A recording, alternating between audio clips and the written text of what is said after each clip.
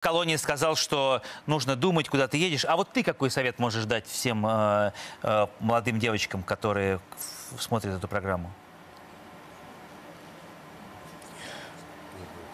Не быть наивными, не доверять знакомым девочкам, просто знакомым. То есть, как бы, реально, не доверять и не быть наивными. Не пить. С донышка не надо пить. Что, больше нечего сказать, что ли?